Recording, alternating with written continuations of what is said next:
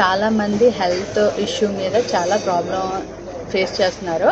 దానివల్ల ఎంతో కొంత నేను సహాయం పడతాను అన్న ఇదితో నేను ఈ వీడియో చేస్తున్నాను. ఎవరు తప్పుగా అయితే అర్థం చేసుకోవద్దు. ఒకటి నేను ఏం చెప్పబోతున్నానంటే మీరు ఎవరైనా చాలామంది భోజనం చేసిన తర్వాత స్వీట్ తినే అలవాటు ఉన్నది. చాలామందికి ఉంటుంది నాకు కూడా ఉంది ఖచ్చితంగా.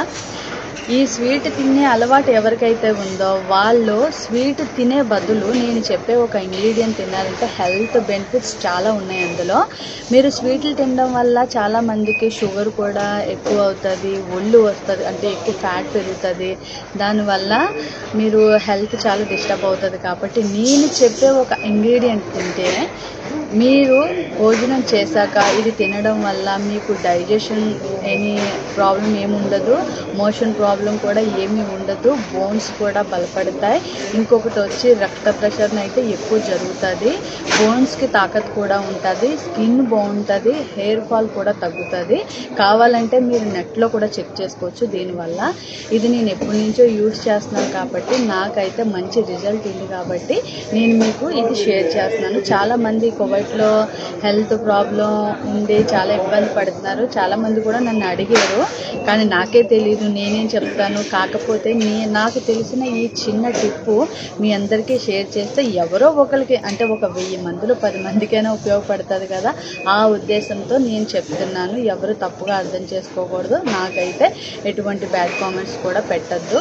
నేను అందరికీ అంటే ఎంత మనం ఏమి మనిషికి ఏమీ చేయలేము. ఒక మనిషికి మనకి ఏ విధంగా కూడా సహాయపడలేం. కాకపోతే మనకి తెలిసిందైనా సరే ఒకవేళ చెప్పామనుకో అది ఎవరైనా పాటిస్తే వాళ్ళకి మంచి జరిగితే కనుక అది అది మనకి కూడా మంచి జరుగుతుంది. దేవుడు మనకి మంచి చేస్తాడన్న ఉద్దేశంతో కేవలం ఈ వీడియో చేస్తున్నాను. ఎవరు నన్ను తప్పుగా అర్థం చేసుకోకూడదు. ఇంకా నేను ఆ ఇంగ్రీడియంట్ ఇంగ్రీడియంట్ గురించి చెప్తాను. చూడండి. ఇది. కిస్మిస్. ఇది కిస్మిస్ అందరికీ తెలుసు. ఇది నానబెట్టుకొని తింటారు. చిన్నప్పటి నుంచి మనందరికీ తెలుసు. ఏంటి నట్స్తో కలిపి నానబెట్టుకొని తింటారు. కానీ ఇది భోజనం చేసిన తర్వాత ఒక ఫైవ్ పీసెస్ కానీ టెన్ పీసెస్ కానీ మీ ఇష్టం. ఇది చప్పరించి నమిలి మింగితే మీకు డైజెషన్ ఇమ్మీడియట్లీగా జరుగుతుంది. ఒకవేళ ఏదైనా హెవీగా తిన్నా సరే ఆ గొంతులోకి చాలా మందికి వస్తుంది కదా. ఇది అట్లా కూడా రానివ్వదు. మీరు ఇది ఎక్కువ పాటిస్తూ ఉన్నారంటే మీ స్కిన్ గ్లోగా ఉంటుంది హెయిర్ ఫాల్ తగ్గుతుంది బోన్స్ అయితే బలంగా ఉంటాయి బ్లడ్ తక్కువగా ఉన్న వాళ్ళకి బ్లడ్ పెరుగుతుంది. ఓకేనా? కావాలి అంటే ఇది నేను చెప్పింది నిజమో అబద్ధం మీరు నెట్లో కూడా కొట్టి చూసుకోండి.